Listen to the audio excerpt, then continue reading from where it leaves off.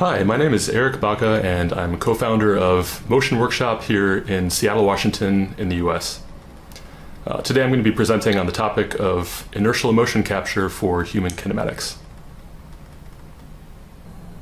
All right, the title of this presentation is Inertial Motion Capture for Human Kinematics. And more specifically, I'll be going over how uh, many of our customers and uh, other individuals use our shadow motion capture system to both record data and also to uh, use the tools that we provide to load data for visualization purposes and other tools like MATLAB and Python. So what you'll be seeing today in this presentation, um, first of all, we'll start out with an overview of the shadow motion capture system. Move on to uh, recording a mocap take of both normal and abnormal walking gait cycles. Then we're going to load the take in Mokka, which is a free open source tool for looking at C3D data. And uh, we'll plot some data in there and kind of look at some channels to try to get uh, more timing information about the gait cycle. And next, uh, we'll load that take into MATLAB and compare the gait cycles based on the timing information we got from Mokka. Then finally, um, we'll load this take, the same take into uh, Python and uh, do some visualization of the gait cycles uh, using NumPy and Matplotlib. So first, let's talk a little bit about the shadow motion capture system itself. Uh, you'll see uh, this model's wearing it here, and she, you can see she's got some um, uh, rendering in the background. That's in a Unity game engine. But uh, overall, overall um, I'll be going over the specifics of the shadow motion capture system in the next uh, few slides. But uh, first, let's talk about a few of the use cases. The first one that's probably pretty obvious is animation. Uh, many of our customers we uh, sell the system to use uh, the Shadow mocap system for recording animation clips uh, for use in games, uh, for visual effects, for video games, film, animation for um, commercials, and many other purposes where you might want to take the data recorded to a file format like FBX and then just load it into a 3D content creation application. Uh, the second use case uh, is live streaming. Uh, so a lot of uh, individuals now are using our, our, shadow system to live stream a performance um, into it could be YouTube, it could be pretty much any kind of um, uh, streaming service, or into a game engine. For instance, um, we provide plugins for both Unity and Unreal, as you can see in this video here, where we took several assets from the Unreal Marketplace and applied our Shadow plugin to uh, drive their animation directly. Uh, the cool thing about the system using this plugin uh, that we created is that you can uh, apply it to pretty much any asset that uh, uses the same skeletal model as the Unreal Marketplace provides. Uh, so there's a ton of content that you can use for free. Um, again, this is more of a um, live streaming application, but you can see how it can be useful. So the next uh, uh, use case, and this is what we'll be focusing on in this presentation, is uh, human kinematics, and uh, basically using the Shadow mocap system for uh, biomechanics research, where you want to take data and compare uh, how different um, body segments are rotating, moving, accelerating, um, and show you how to use some of the tools in this presentation to do so. So uh, first go over the uh, Shadow mocap hardware here. Um, you can see on the right that's kind of the full kit where you've got um, you know the shirt and 17 inertial sensors. Uh, the some of them are in the shirt. There's two on the shoulders, on the chest, and then the rest of the sensors uh, are embedded in straps that you wear on the body. Um, we've found that that's more popular with a lot of people who are doing clinical research uh, because it's easier to put on and take off the system. Um, there's fewer sanitary issues with if you know if you have a full body suit, for instance, and also it's uh, it is possible to fit individuals a little bit more easily of different uh, body shapes and sizes. Um, next, it also includes pressure sensor insoles that you can wear in the shoe, and uh, these have a pressure sensor underneath the ball and underneath the heel of the shoe, sorry, of the foot. And the, that information um, is available in the data stream, which we'll be looking at later. Uh, next on the belt, there's a Wi-Fi controller. Um, it's a quad-core embedded system that uh, has Wi-Fi, so you can connect and stream data wirelessly. And finally, a USB battery pack uh, that's worn on the belt as well, and that uh, pack lasts about eight hours. So the the hardware, you can see the controller on the right and uh, one of the actual nodes. Um, they're all uh, wired over a bus system, um, and because of that, we're able to stream data very fast. Uh, it can actually stream and record up to 400 hertz, uh, which is faster than most other systems that are out there on the market. Um, the internal update rate is up to one kilohertz. I, I miswrote that. Um, it's I believe the default is 800 hertz, but it goes up to 1,000 hertz for the internal update rate and the sensor fusion algorithm on uh, the sensors.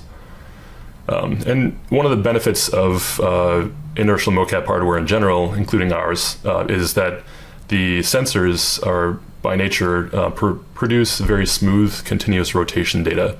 Uh, essentially, all of these sensors are um, three degree of freedom. Um, they output rotation data and, and, not necessarily position. The position is calculated later in a kinematic uh, model, which we'll be talking about in a sec. So next, uh, let's just talk briefly about the software that comes with the Shadow system. So we'll kind of be going over this, um, uh, be showing some videos, and then we'll be um, showing how to record a take uh, in a little bit. Uh, the main um, portion of this is the Shadow app. It's a desktop app, uh, works in Windows, Mac OS, Linux, um, and if you don't want to use any of those OSs and do it on, you know, like a mobile platform, uh, you can access the Shadow controller directly uh, from a web browser that has the same UI. So pretty much any device that has Wi-Fi, um, including smartphones and tablets, uh, you can access and control uh, the Shadow system. Uh, from this app or the UI, um, you can do a lot. There's the 3D preview. Um, you can look at chart view of the individual sensor data, um, change any of the settings. Um, in addition, uh, you can also set the rest pose, which is um, one of the first steps you need to do before you start recording data. Uh, talk about the kinematic model um, for Shadow. Um, you can see on the right, this is an authored skeleton model, and uh, it has, you know, some pretty obvious body segments that it's a very um, pretty standard topology for both animation and maybe slightly less joints uh, that might be used for biomechanics models that some of you have used. But um, there are both sensor driven body segments um, where the sensor itself drives the body segment directly. And there are also interpolated body segments, uh, which, uh, such as like if you can see like the spine mid and spine low, as well as the neck, uh, those are interpolated joints because they don't have a specific sensor driving them directly. Um, as I mentioned before, uh, the inertial sensors output rotational data. It's uh, three degrees of freedom. And so the root position uh, for, for, comes from the skeletal model and contact points with the ground. It's essentially um, to get any kind of root motion, uh, you can't just use the 3DOF data from the inertial sensors. And so it's essentially it's a it's a kinematic simulation uh, based off of contact points with the ground, and uh, that um, portion of the software is aided by pressure sensor insoles. So we get some kind of qualitative data um, based on what portion of the foot is on the ground, and um, that data is also uh, available for use in the data stream for processing. Which, um, like I said, we're going to look at an example of that in a bit. So um, with that, I'm going to show a video here that's uh, recorded previously. It's about showing how to record a basic take um, inside of the Shadow software and um, how to set the rest pose. And after that, um, we'll come back and continue. To begin, connect to the Shadow Wi Fi. Now start the Shadow app. And we'll go to the Devices tab. You can see that we're connected and reading from 17 devices. In the 3D viewer, we're going to set the rest pose. This is the classic T-pose with arms straight out, palms down, feet forward directly underneath your hips. So we'll set the rest pose. And now we'll just take a seat. Next, go to the Settings tab. We need to turn on C3D Auto Export for exporting to the C3D format, which is compatible with the Mokka Biomechanics viewer. Next, go back to the 3D viewer, and we're going to record a, a short take. So, start recording the take. You can see the icon turns blue, do some arm motion, and stop recording the take. Now on the left you can see it's exported to a C3D file. This will be located along with the all the rest of the binary take data in the documents folder under motion, take, and then today's date. And here you can see the second take we have in this folder is the C3D file that we're looking for. So next let's start up Mokka and we can load that C3D file into this uh, app. Select the C3D file and drag it into the um, Mokka app, and you can see we have it loaded. We'll need to load the shadow skeleton so you can see all the body segments. And then you can just drag the slider and look at the data in the 3D view.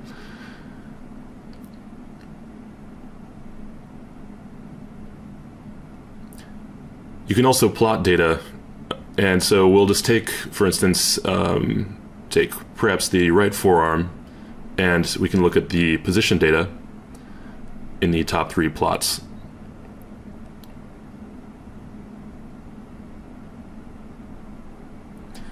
You can also look at uh, other types of data down under the analog channels. This includes all of the data that's available in the um, SDK data stream, including quaternion data format, Euler angles, um, and all of the data that you could probably want to look at is in this uh, list here. Some other features in the Mokka app is you can select nodes in the 3D view uh, so that if they're hard to find, it's you can just click on them inside of the 3D view and they'll get selected. Uh, you can also add motion trails. So if you say track selected marker, uh, it will add a motion trail for that specific one. This, in this case, the left hand.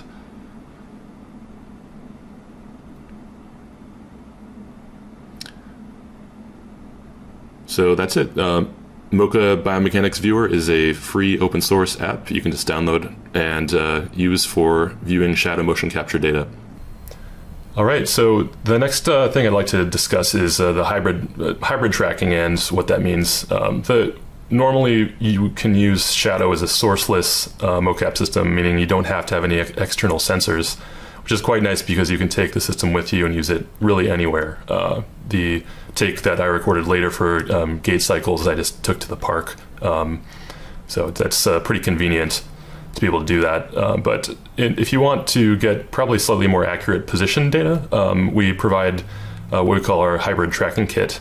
And the, the default kit that we use is uh, based off of the HTC Vive base station and tracker, which you can see over on the right. Uh, this is the base station and the, uh, the tracker that's worn on the body. Um, they, essentially the root position uh, is, is, driven by the body worn uh, position tracker, uh, which in the default kit is the HTC Vive tracker. Uh, but we also support OptiTrack, so you can use an optical rigid body marker set, um, as you can see, like uh, these little guys over here.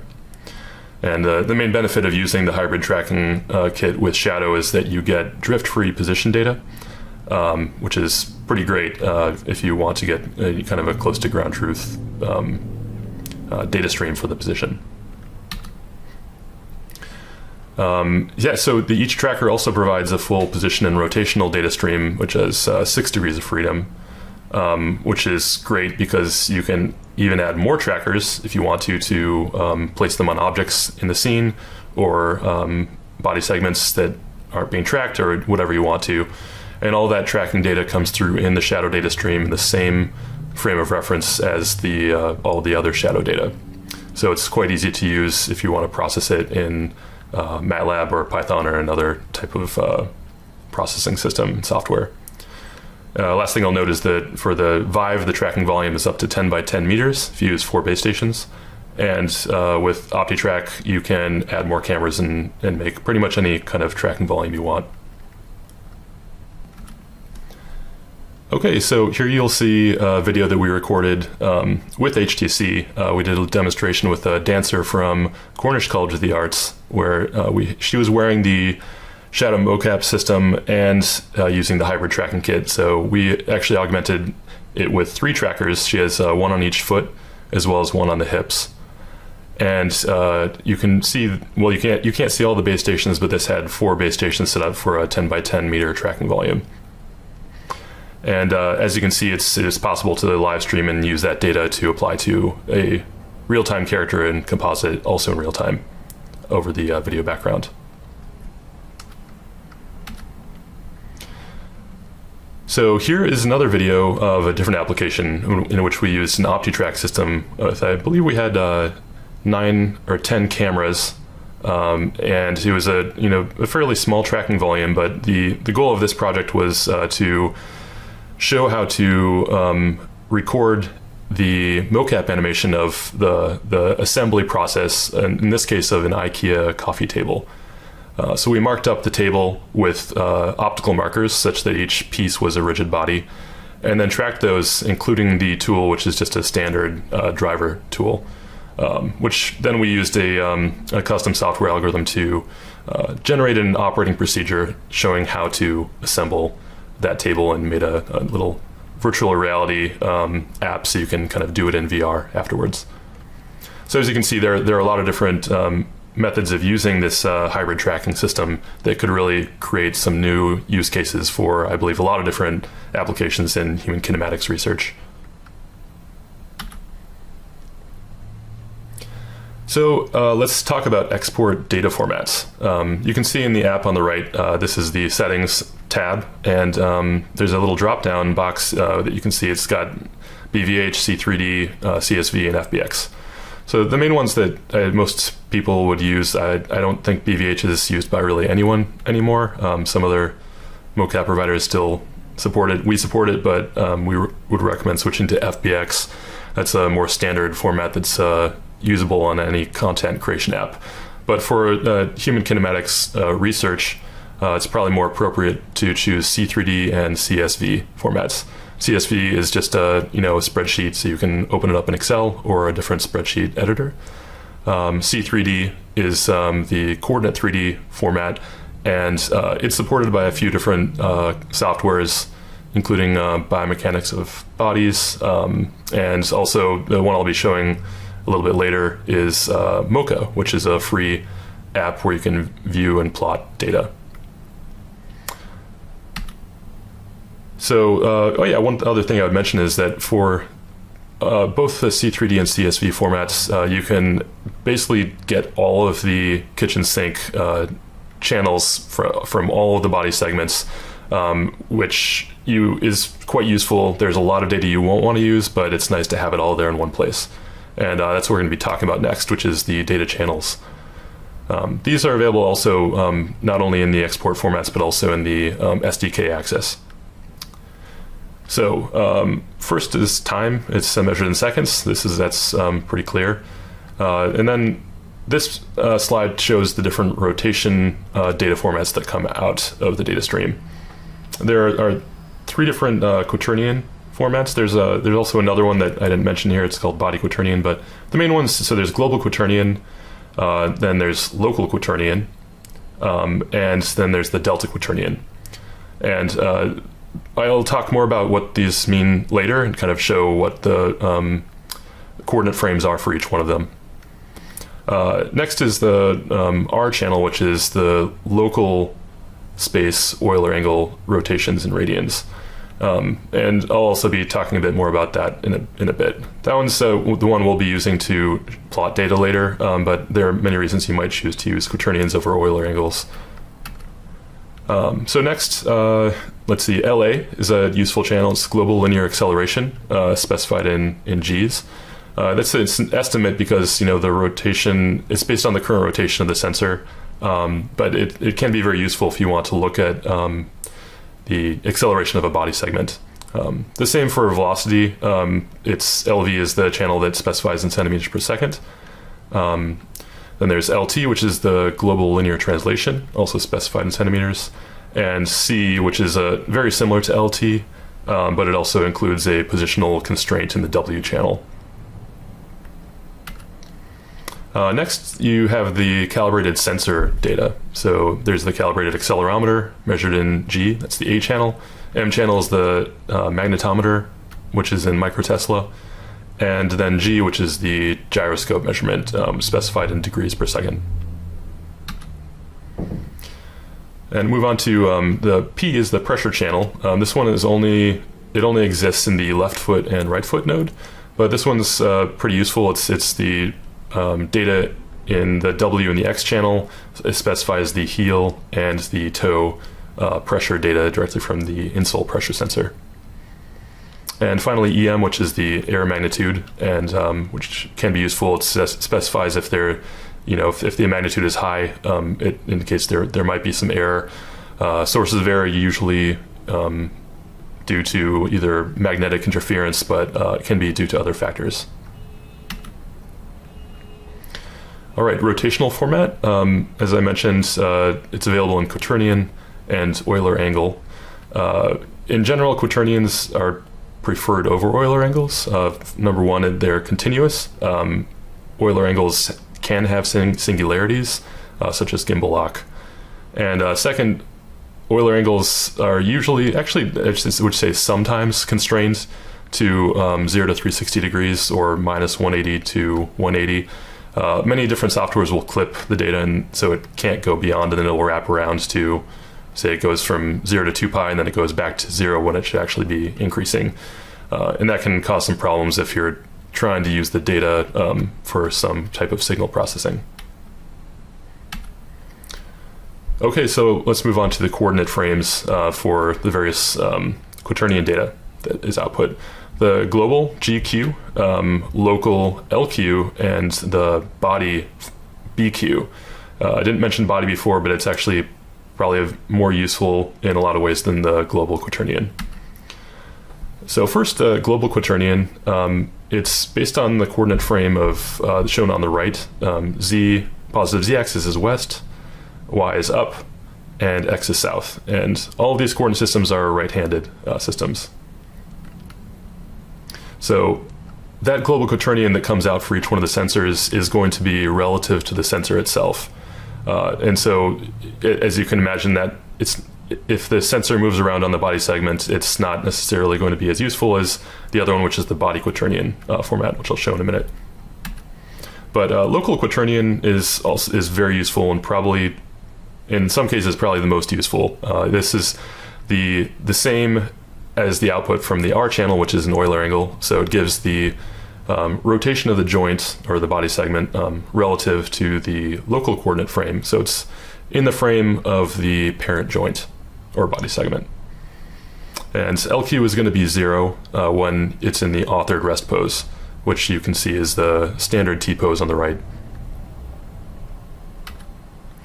Uh, last, the body quaternion, which I mentioned. Um, this one is interesting. It's it's the so it's the body segment or joint rotation uh, relative to the global coordinate frame. Um, the difference is that BQ is relative to the body segment, whereas GQ is relative to the sensor node. So um, BQ takes into account the rest pose, um, which basically gets kind of an offset of the where the sensor is located relative to where um, the authored uh, system thinks that it's located or where it's supposed to be located.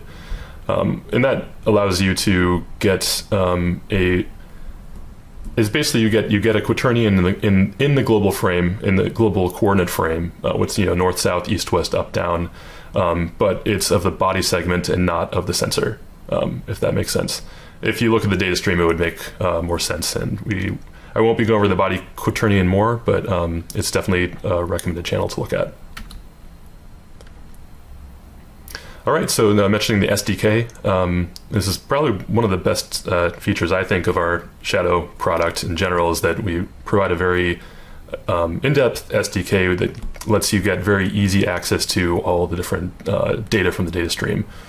Um, it's available in most of the popular uh, languages: C++, Python, Java, C Sharp, JavaScript, um, and it also supports um, most of the three uh, types of software. Not also you know like MATLAB, Octave, um, RStudio, uh, pretty much any kind of tool. Uh, we make it very easy to load um, our shadow data into it, and then you know you can get going on your data processing, whatever that may be.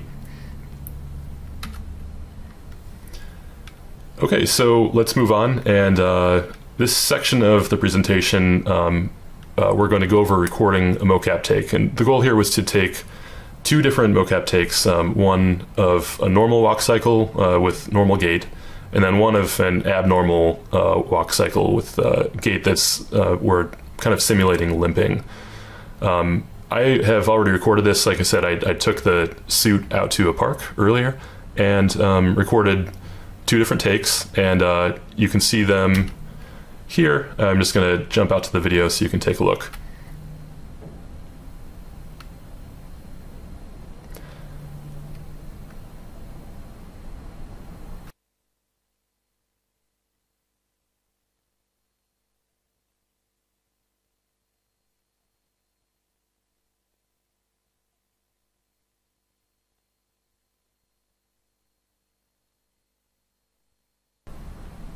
Okay, so next let's go back and we're going to actually load the mocap take into Mokka um, so that we can then go into the uh, data and look for some segments of gait cycle frame ranges that we want to uh, look into further inside of the other tools, which I'll show you later in MATLAB and also in Python.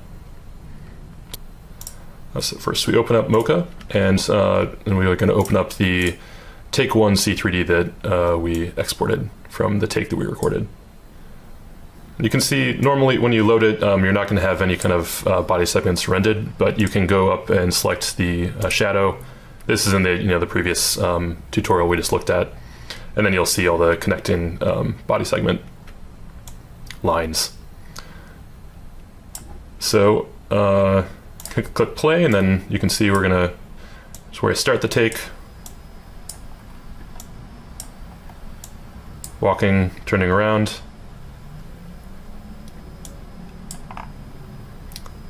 That's uh, pretty apparent. That looks about right. Um, there's a slight um, incline that I walked up and down because uh, it was outdoors. Um, would have been better to do it on flat surface, but uh, looks like we got some good data anyway. So let's look for a good. Uh, let's maybe go toward the walk back and look for a like a, a cycle of a, a, gait where the left foot hits the ground, and then right foot, and then left foot, so we get the full cycle. So let's just choose this one. Um, I believe looks kind of like, you know, it's not going to be exact, but around 800 starting frame to maybe about 920, let's say 926 for the end frame. And then starting from this, that can be our next uh, cycle, uh, 926 to left foot, right foot, left foot. Let's see, left foot where it hits the ground, maybe about, um, let's just say 1042. That's about right. So let's remember those numbers. I wrote them down here, and we'll be using those in both the MATLAB and Python scripts to load up those specific cycles. Um, next, let's load the second take, which is the um, the one with the simulated limping or the abnormal gait cycle.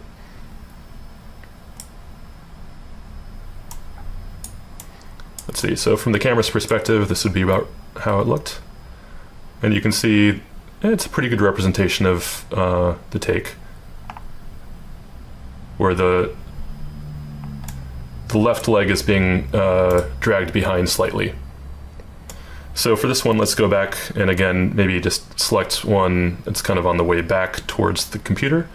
Um, so from the left foot hitting the ground, uh, well, it's, yeah, so now the left foot hasn't, the right foot's on the ground. Here's where the left foot strikes. It's right around uh, let's say right around here, 1196. And then see right foot hits the ground, left foot is kind of dragging behind, going to 1357 or so. Okay, so that's 1357, and then we'll move on, see what the next uh, goes. The right foot on the ground, and then the left foot drags slightly, and then the left foot on the ground at say 1522. So now that we have those uh, keyframes, um, which are essentially it's uh, in, in seconds, you just divide by 100 uh, because this is at 100 frames per second. But we'll use those indexes um, to load the data in MATLAB and in Python. Okay, so um, now that we've done the uh, frame range selection inside of Mokka, uh, let's now next load the data into MATLAB. Um, in this case, I'm actually using Octave, uh, our scripts that we provide for um, the file I/O and loading into um, MATLAB also work uh, well with Octave.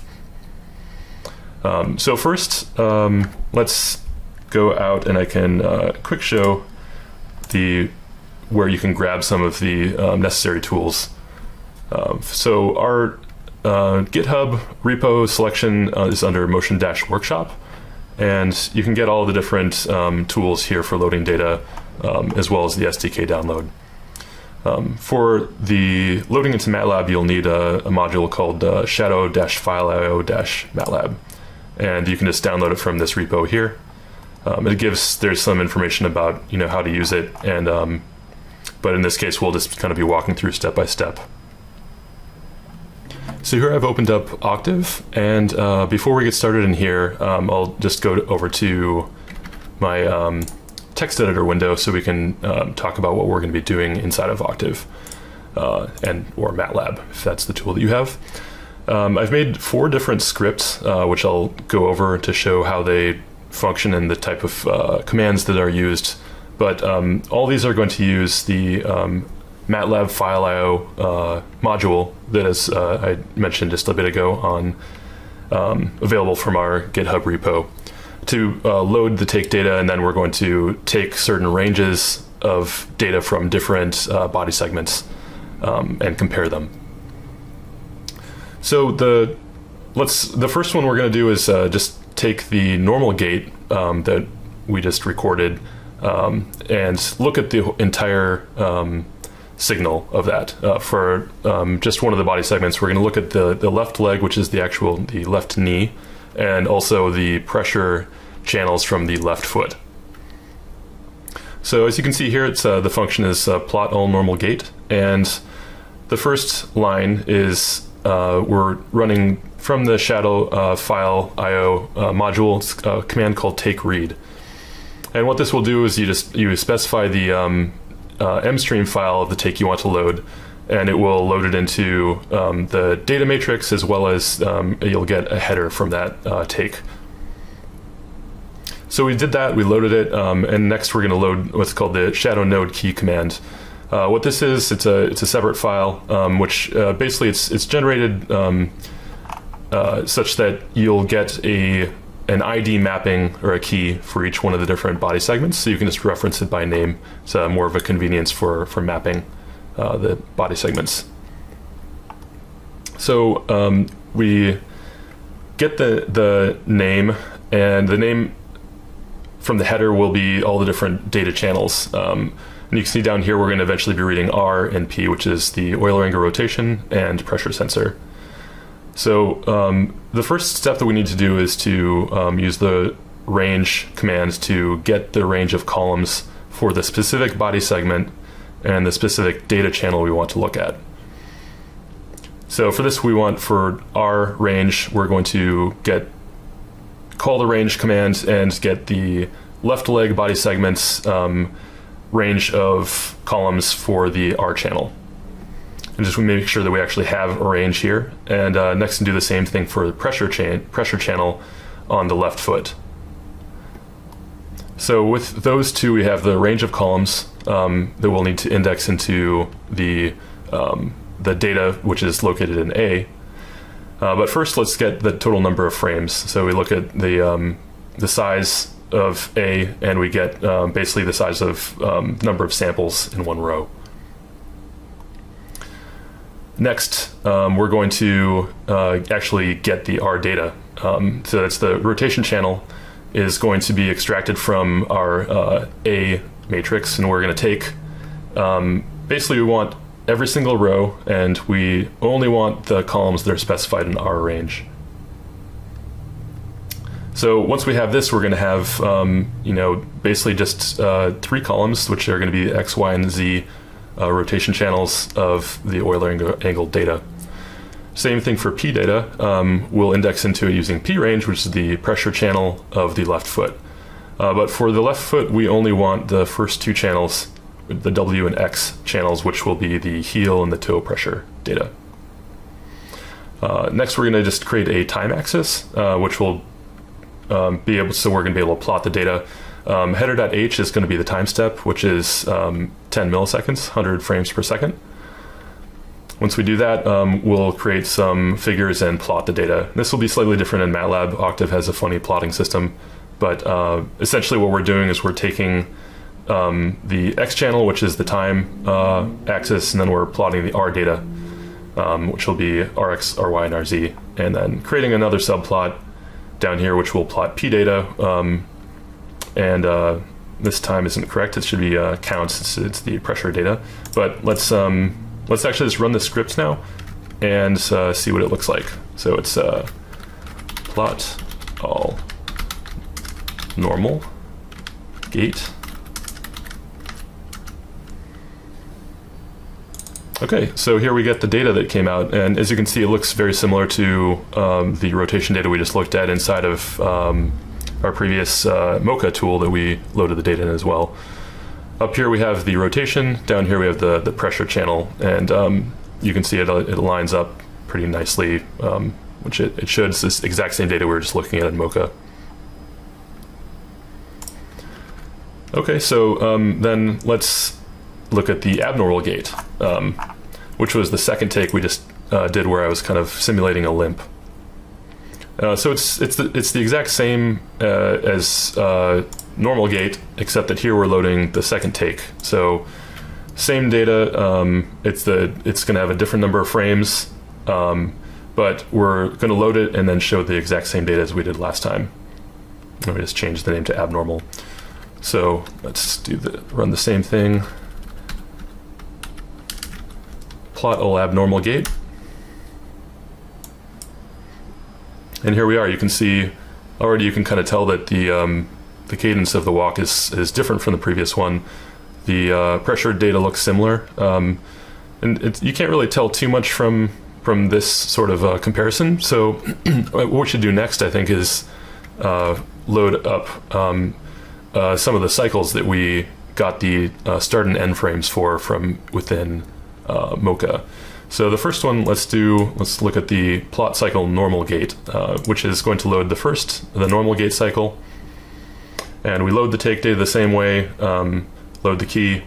Everything is the same down to um, this area down here where we, we get the pressure data. Um, and then we actually have a, uh, the time range for the gait cycle that we marked down in Mokka. So the first one started at um, frame 800 and the second one started at frame uh, 926. So each one of them is about 120 or so frames long, 126 frames. Let's just say the duration is 126. So then we create um, a time channel of the duration we want to plot. And then what we're going to do is um, select the. Um, we want to select. So we want to take the data, um, which is going to be. We've already created the um, uh, the R data and the P data uh, uh, vectors that we're going to be using for um, plotting, which is essentially the three columns and all the rows for each frame. Uh, what we, we, want to do now is to select um, only the frames that we want. So on from the from the uh, time channel, we want to go from start one frame to start one plus the duration, and then we want to select all of the rows, and do the same thing for uh, the second, uh, which will be start two, and start two plus duration, so then we're going to um, have two different uh, time segments that we can look at and plot. So we do the same for the um, pressure data from the uh, P data, then we select the same frame ranges. And then uh, in order to make it a little bit more interesting, uh, I've just um, uh, appended the pressure uh, channels onto the um, rotation channels so we can plot them in the same graph. So once we have that, we've we basically have the um, normal gait one and normal gait two, and we'll just plot these two uh, combined um, data of, of, rotation and pressure, and uh, see what it looks like. So this is plot cycle normal gait.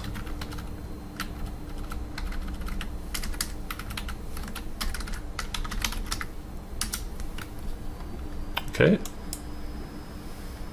Yeah, so that's um, interesting to see. So we can see this is just the segment of the one um, rotation. You can see the rotation of the, the knee goes up and about um, mid gait. It's about maybe 65 or 70 degrees rotation. It goes back down, then it cycles back, and then it does the same again over here. And as you can see in, in the in the purple, uh, this is the pressure channel of the left foot. So as left foot pressure drops off, the knee starts rotating, and then later the um, this legend is kind of blocking it, but the pressure will st- st- come back up as the left foot hits the ground again. And it looks like it's about the same for both of these, um, which is normal if it's the, the same gait that I was performing. So uh, to make speed things up a bit, um, I did the exact same thing for the abnormal gait, and that, that script is um, has minimal changes, just reading from the second take instead of the first and then we plot that data um, and we can take a look at it. So you can notice right away that the it looks a little bit different. Like the uh, number one, the rotation maximum for the knee is only going up to like maybe 50, 55 or 60 degrees, um, uh, much less than the um, normal gait. And it looks like it from when the foot hits the ground in this in this range here with the pressure data um, it takes longer for the knee to rotate uh, compared to the other take, which we can compare. Um, so this is the normal gait, and here's the abnormal gait. And, um, you know, that's it. Off the top of my head, that does look like the two main changes that I see. You could probably do more if you plotted, uh, for instance, like the uh, both the left and the right knee rotation um, to see if they're symmetrical.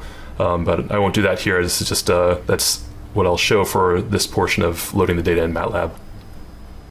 Okay, and now that we've finished that with MATLAB, let's uh, move on and do a, kind of a similar take loading uh, process inside of Python. Uh, so we can plot some of the data from our chosen gait cycle, and then we can um, use NumPy and Matplotlib to uh, plot the data in a similar fashion as we did in MATLAB. All right, so for the next portion of the presentation, um, I'm going to show how to load uh, data into Python and then um, plot it and you know, look at the various different channels, similar to what we just did in MATLAB slash Octave. Uh, so first we will need to go to the GitHub repository again, and this time we would go and get the shadow file IO Python module. This is what we'll be using to, it makes uh, loading take data very easy. Uh, and it also allows you to pretty easily um, parse out different data uh, from the different body segments and uh, data channels that you want to look at. So I've already done this and grabbed it, but you just install uh, the module, um, and then once you have that, uh, we can go and look at the various different um, ways that we can use that module in Python. And uh, so, similar to in MATLAB, I've made four different scripts that do um, kind of the, sim- the, same thing as we just did in, Ma- in MATLAB and Octave. Uh, first of all, we'll just um, plot the entirety of the normal and abnormal gait pattern, and then we'll look at the uh, different cycles that we marked down for the uh, frame ranges from inside of Mokka. But first of all, importing uh, the modules, uh, you'll import the shadow.fileio. Um, I'm also using uh, NumPy and Matplotlib, and as well as Cycler, which is basically just for um, specifying different uh, colors and uh, rendering for the plotting in Matplotlib. Uh, the beginning is the same as before. Um, we just specify a path. Uh, if you don't want to specify a path and you just want to load the newest take, you can actually use um, shadow file find newest take, and that will grab it directly for you if you're parsing a lot of data. Um, then we're going to um, open up that um, data.m stream uh, from from this uh, path, which is the first take of the normal gait, and then we're going to use the read stream uh, method from inside of the file IO module That's going to report back um, uh, a few different pieces of data. It'll uh, give us info, node list, and data, and uh, we'll go over those in a second. So next we want to um, use the same. Uh, well, we're going to open up the mtake file, which is it has some metadata for the um, for the actual take. The stream mstream file has the binary data. Mtake has the uh, data that describes that take. And so from that um, mtake file that we load, uh, we'll use the fileio's um, make node map function. And uh, what that's going to do is take the node list and also um, the mtake file, and it's going to give us a node map, which will allow us to index um, based off of um, the both the body segment name and also the channel name. Next, um, let's get the number of frames uh, from the info uh, data that we got back uh, from up here in the um, read stream. And then also we'll get the stride, um, which is just you know how uh, many um, uh, floating point data um, pieces there are that we need to skip over to get to the next row of data. Next, we're going to need to um, reshape the data. So uh, we need to basically make it so that we have, uh, instead of having just one row of data, uh, we want to have um, all the channels are going to, one row will specify um, basically one frame. So we're taking the number of frames in the stride and reshaping the data into a new um, a new matrix of data that we'll index into. So uh, let's go. Let's see. For the next next portion, we're going to want to get um, first of all we need to get the column indexes for uh, the um, R channel for the left leg. And you can see we indexed into that. This gives us um, a tuple of um, start and end column indexes, which we then go into say we want all the rows and we just want the the begin and end column indexes uh, from the the big data array. Um, sorry, data matrix. And from that, we'll get data R, which will just have the rotation channel um, such that each row is a frame. Convert it to degrees because it's in radians. Um, then we do the same thing for the left foot pressure channel.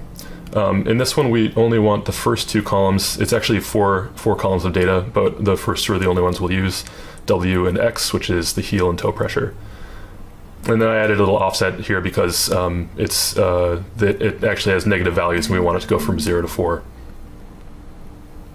All right. So next we create the time axis. Um, basically, just like we did in MATLAB, we get the time step and we create um, the number of frames, make an A range from NumPy. Uh, this is all about rendering um, the graphs, plotting and giving like RGB, um, teal and indigo for the um, telling what colors to make the plots. And then next, uh, we're going to make two subplots. Uh, this is just the same as we did in MATLAB, where the first one will be the um, uh, normal gait of the left knee, and then the second plot will be uh, the pressure of the left foot. And all of this will be, um, you know, it's plotted for the entirety of the range of the entire take. So let's go and run that. Um, and says uh, Python plot all normal gait.py. And so here are the results where we'll get, it looks like very similar as it should, just like in MATLAB. I actually kind of like the um, the rendering of you know matplotlib. It's quite nice. It's a very um, it's free. It works really well. Down here we have the pressure data. Um, yeah, so that's that. So um, I made a, another uh, script which is exactly the same, but it loads the um, abnormal gait data, and let's just plot that. Yeah, so it looks the same kind of as in did in MATLAB. Um, one of the things we can do is just plot them both and put the normal over here and then put the abnormal over here. And you can see just comparing like this, the rotation is 60, 70 degrees for the normal and down it's only, you know, between 35 and maybe 55 degrees uh, for the abnormal gait. Okay, so moving on, um, let's next go to look at the uh, the gait cycles that um, and plot those like we did in MATLAB. So it begins the same, the script. Um, the, the difference is once we get down, just like we did in MATLAB, uh, we have the start uh, frames for each one of the two cycles we want to look at. These are the normal gait cycle 1 and 2 starting at 800 926 frames. And then down here we do the same where we create uh, two different um, selections from the, the, the full uh, rotational data where we want to just index from the um, start frame and then to start plus duration. So we do that for the two um, rotational uh, gait cycle index uh, start frames. Same for the pressure. And then I did the same thing where we concatenate the rotation and pressure data so we can plot them all in one.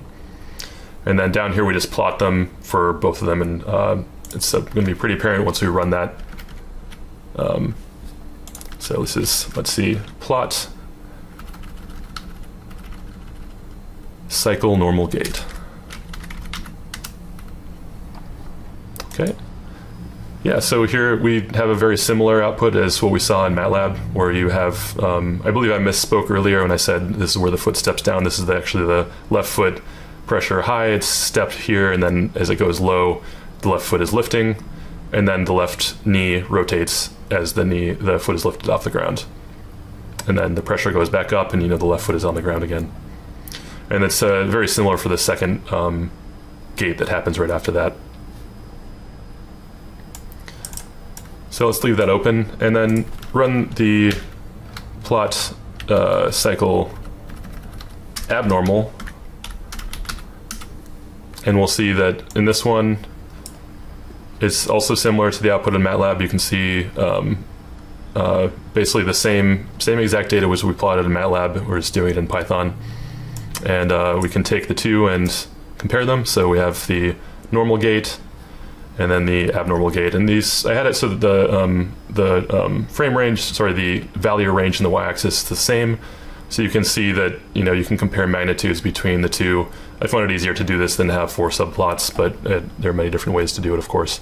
Um, but yeah, that's uh, kind of an overview how you load data uh, using our uh, file.io module for Shadow into um, Python. All right. Well, thanks a lot for watching. Um, I, I am sorry I couldn't have been there in person for the conference and the workshop, but I, I hope this presentation has given you a bit more information about how you can use our tools to load data um, from Shadow into various applications and um, kind of look at that data in different ways. Uh, if any of you have any questions, uh, please get in touch. Uh, again, my name is Erik, and uh, my email is eric at motionshadow.com. All right, thanks.